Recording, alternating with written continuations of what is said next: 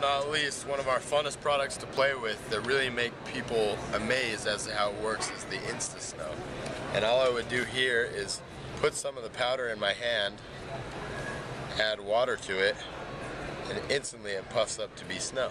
Wow. It's really fun to play with. It feels really good in your hands. And uh, it sells in many different forms from your bucket to just a tube Uh-huh. and explains the science behind how it works inside every kit. Nice.